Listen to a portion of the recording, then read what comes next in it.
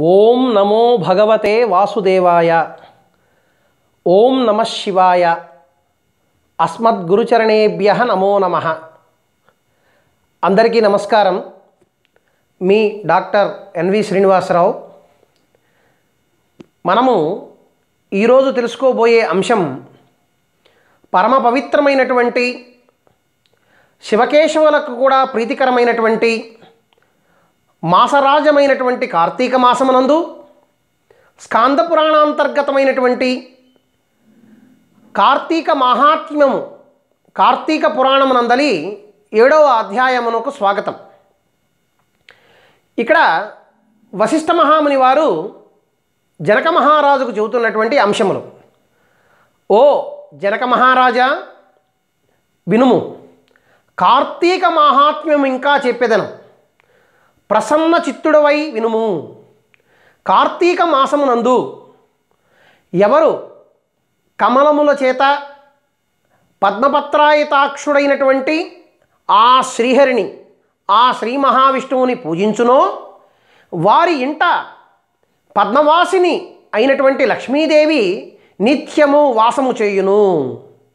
ఈ మాసములో భక్తితో తులసీ దళములతోనూ జాతి పుష్పములైనటువంటి జాజి మందార అలానే పున్నాగ చంపక ఇత్యాదులతో ఇత్యాది పుష్పాలతో చక్కగా శ్రీహరిని పూజించినటువంటి వారు తిరిగి భూమి మీద జన్మించలేరు. అంటే ఎప్పుడూ ఆ శ్రీహరి సాన్నిధ్యంలోనే ఉంటారు. ఈ మాసమునందు మారేడు దళములతో సర్వవ్యాపకుడైనటువంటి ఆ యొక్క శ్రీహరిని పూజించినటువంటి వారు తిరిగి భూమండలం మీద ఉండరు.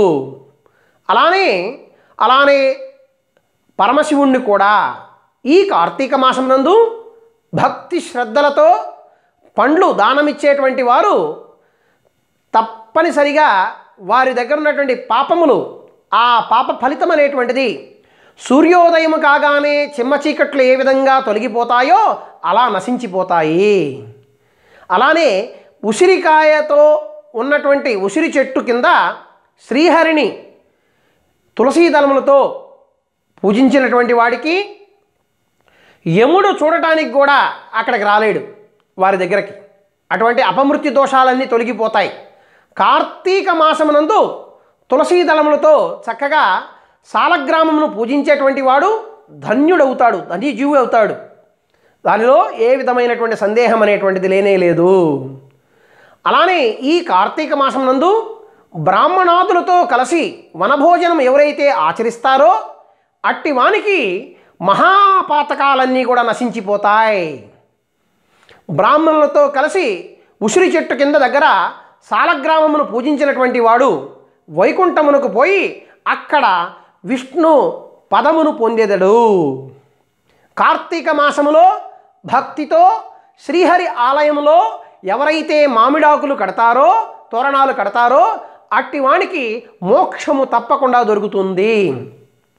ఈ శ్రీహరికి అరటి స్తంభాలతో కానీ పుష్పాలతో కానీ మండపాన్ని నిర్మించి పూజించినటువంటి వానికి వైకుంఠమునందు చిరకాలాసనము కలుగును. ఈ మన ఈ కార్తీక మాసమునందు ఒక్కసారైనా సరే హరి ముందు సాష్టాంగ ప్రణామము చేసినటువంటి వానికి పాపములన్నీ నశించిపోతాయి. అశ్వమేధ యాగాన్ని పొందినటువంటి ఫలితం చక్కగా దొరుకుతుంది. హరి ఎదుట జపము హోమము దేవతార్చనము చేయడం వలన పితృగుణములతో సహా వైకుంఠ పితృగణాలతో పాటుగా వైకుంఠానికి పోయే పోవటానికి మార్గం మనం ఏర్పరచుకున్న వారం అవుతాం ఈ మాసము చక్కగా స్నానము చేసి తడి బట్టలతో ఉన్నవానికి వస్త్రదానము చేసేటువంటి వానికి పదివేల అశ్వమేధాది యాగాల ఫలితము పుణ్య ఫలితము వారు పొందగలరు. కాబట్టి ఎవరికైనా సరే వస్త్రధారణ వస్త్రదానం చేయండి. కార్తీక మాసమునందు విష్ణువు యొక్క ఆలయాల్లో శిఖరమునందు ధ్వజారోహణము చేయువాని పాపములు గాలికి కొట్టుకుపోయేటువంటి మబ్బు వలె ఉంటుంది. అలానే శ్రీహరిని పూజించి చక్కగా పదివేల యజ్ఞములు చేసినటువంటి ఫలితాన్ని మనం ఈ మాసంలో పొందవచ్చును. బృందావనమున ఆవు పేడతో చక్కగా అలికి రంగవల్లుతో శంఖపద్మములను గనక తీర్చిదిద్దినటువంటి వానికి ఆ మగువకు ఆ స్త్రీమూర్తికి శ్రీహరే చక్కగా ప్రియుడవుతాడు. ఆ శ్రీహరికి ఆ మగువ ప్రియురాలవుతుంది. కార్తీక మాసమున విష్ణు భగవానుని ఎదుట నందాదీపమును అర్పించి ఫలమును ఆ యొక్క చక్కగా మనం పొందవచ్చు.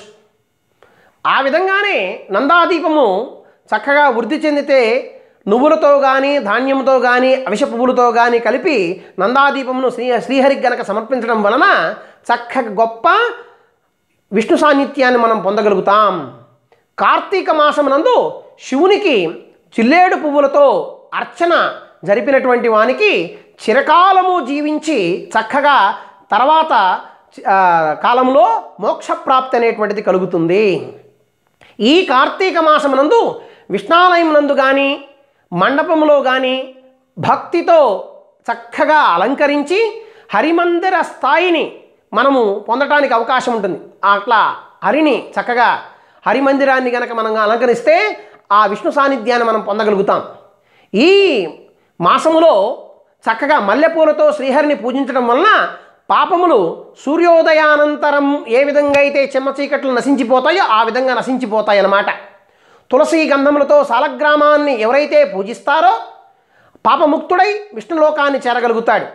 హరి సన్నిధిలో స్త్రీ కానీ పురుషుడు కానీ నాట్యము చేసిన పూర్వజన్మల నుంచి సంచితమైనటువంటి పాపకర్మలన్నీ కూడా పాపం మొత్తం పటాపంచులైపోతాయి.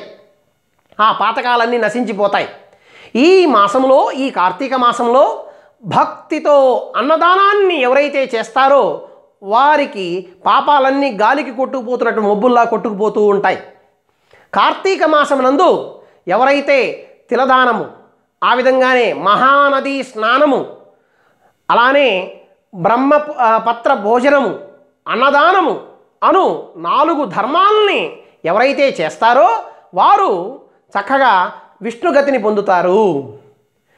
లేదా ఈ మాసం నందు దానము కానీ స్నానము కానీ యథాశక్తిగా చేయనటువంటి వాడు నూరు జన్మలు కుక్కగా పుట్టిన తర్వాత చండాలుడుగా పుట్టి స్త్రీ కానీ పురుషుడు కానీ ఈ కార్తీక వ్రతము ఆచరించినటువంటి వాడు ముందు గాడిదగా పుడతాడు.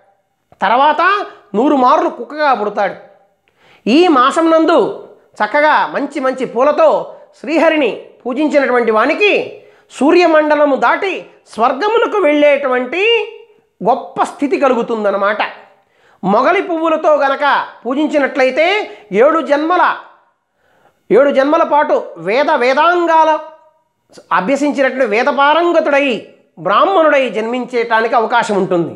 ఈ మాసములో పద్మములతో శ్రీహరిని చక్కగా పూజించినటువంటి వారికి ఆ అవిషి పువ్వులతో మాలికతో పూజించినటువంటి వారికి స్వర్గాధిపత్యాన్ని పొందడానికి అవకాశం ఉంటుంది. లక్ష్మీప్రదమైనటువంటి జీవితాన్ని గడపడానికి అవకాశం ఉంటుంది. అలానే స్త్రీలు మాలల చేత కానీ తులసి దళాలతో చేత కానీ ఈ మాసమునందు హరిని పూజించిన పాప విముక్తులై చక్కగా వైకుంఠమును వాసాన్ని పొందుతానికి అవకాశం ఉంటుంది. ఈ మాసంలో ఆదివార స్నానం చేసిన ఆ విధంగానే మాసమంతా స్నానాలను ఆచరించిన పుణ్యము చక్కగా మనం పొందగలుగుతాం. ఆ విధంగా ఈ మాసమున శుక్ల ప్రతిపత్తి నాడు లేదా పూర్ణిమ నాడు అమావాస్య నాడు తప్పనిసరిగా ప్రాతస్నానం ఆచరించాలి. అశక్తులు ఎవరైతే ఉంటారో శక్తి లేనటువంటి వారు వారందరూ కూడా పూర్ణ శక్తిని పొందగలుగుతారు పూర్ణ ఫలాన్ని పొందగలుగుతారు ఈ క్రియలు కనుక చేసినట్లయితే. అందుకు కూడా శక్తి లేనటువంటి వారు ఈ కార్తీక మాసమునందు నెల రోజులు కార్తీక మాహాత్మ్యాన్ని కనీసం విన్నా స్నానఫలము కలిగి పాపములు మొత్తం కూడా నశించిపోతాయి. ఈ మాసమునందు ఇతరులని సమర్పించినటువంటి దేవాలయం నందు దీపము ఆ ఆరిపోతున్న సమయంలో మనం గనక దాన్ని కాపాడామనుకో ఆనందించామనుకో వారికి ఏ విధమైనటువంటి పుణ్యం కలుగుతుందో మనకి అదే పుణ్యం కలుగుతుంది. త్రికణ శుద్ధిగా చక్కగా మనం ఈ మాసమంతా ఇతరులకు సహాయం చేయాలి. హరిపూజకై మనం త్రికరణ శుద్ధిగా మనం ఆచరించాలి హరిపూజ చేయాలి. స్వర్గమును పొందేయటానికి అవకాశం ఉంటుంది. ఈ మాసంలో భక్తి శ్రద్ధలతో చక్కగా గంధ పుష్పాలతో ధూపదీప నైవేద్యాలతో ఎవరైతే హరిని పూజ శ్రీహరిని పూజిస్తారో వారు వైకుంఠ స్థిర నివాసులవుతారు. అలానే ఉమ్మెత్త పూలతోటి జిల్లేడు పూలతోటి పరమశివుణ్ణి మారేడు దళాలతోటి ఎవరైతే పూజిస్తారో ఎవరైతే అర్చిస్తారో వారు చక్కగా కైలాక కైలాస స్థిర నివాసులవుతారు మోక్షగతిని పొందుతారు. ఇవన్నీ కూడా వశిష్ఠ మహాముని వారు జనక మహారాజుకు ఉపదేశిస్తున్నటువంటి స్కాంద పురాణాంతర్గతమైనటువంటి కార్తీక మాహాత్మ్యం కార్తీక పురాణమునందలి ఏడో అధ్యాయము. ఈ ఏడో అధ్యాయము ఇంతటితో సమాప్తమైనది.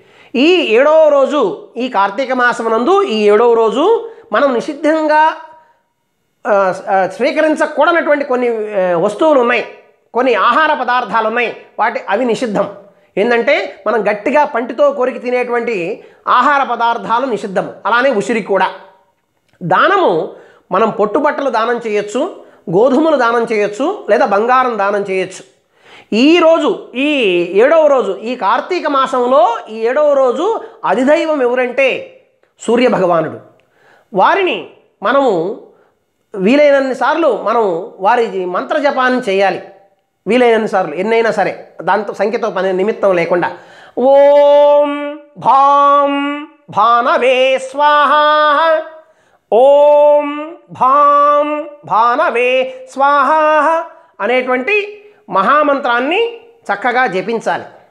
ఇలా జపించడం చేత చక్కగా ఈ యొక్క స్కాంద పురాణాంతర్గతమైనటువంటి ఈ కార్తీక మాహాత్మ్యంతో కూడుకున్నటువంటి కార్తీక పురాణాన్ని అందులో ఏడో అధ్యాయాన్ని మనం చక్కగా వినటం చేత కనటం చేత ఆ విధంగానే ఆచరించుట చేత మనకందరికి కూడా సద్గతి కలగాలని ఈ యొక్క శివకేశవులకు ప్రీతిపర ప్రీతికరమైనటువంటి ఈ కార్తీక మాసమునందు అలానే సూర్యభగవాను ఈరోజు అధిదేవత అయినటువంటి సూర్యభగవాను మనకు మంచి మంచి స్థితిని కలిగించాలని అందరికి కూడా అన్ని రకాలైనటువంటి యోగాలని అష్టైశ్వర్యాలని ఆయురారోగ్యాలని ప్రసాదించాలని కోరుకుంటూ సర్వే జనా సుఖినో భవంతు సమస్త సన్మంగళాని సంతు స్వస్తి.